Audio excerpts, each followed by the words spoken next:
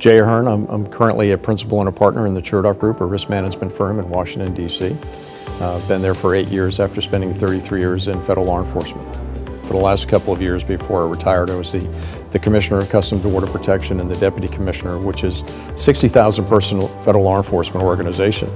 And we went through many different challenges over the year to bring in additional personnel as we look to secure the homeland and had to do that in rapid fashion with some of the hiring. So we needed to make the right suitability determinations on people that we're bringing into the organization.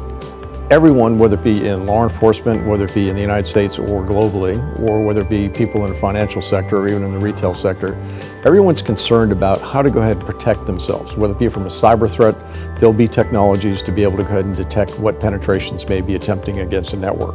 And when you're looking to secure a physical perimeter, you'll have fences and cameras and sensors to be able to protect People are now taking a look at how do you actually protect against insider threats. And, and, insider threats can certainly unravel an organization, whether it be a law enforcement entity or a commercial enterprise, and particularly financial sectors for, for one.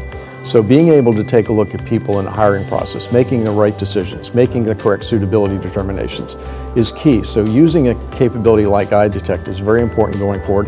And some of the other capabilities that, that certainly the Converus has brought on board too will add a suite of of technology that are cheap, efficient, effective solutions that can be brought on relatively swiftly and be able to mitigate some of the risk. Not eliminate, but mitigate some of the risks of, of the insiders. You know, it's, it's not so much only about the leakers.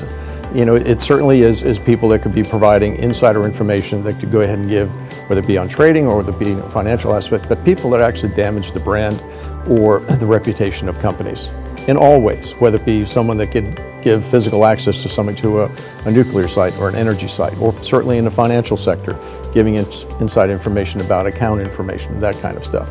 But also as far as from the law enforcement or intelligence community, you don't want to have someone that goes ahead and gives some of the protected secrets that governments around the world try so hard to protect.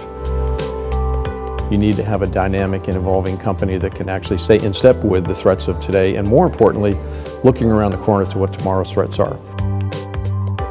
Converus has demonstrated certainly that it's very adaptable and, and very innovative to deal with today as well as tomorrow's threats.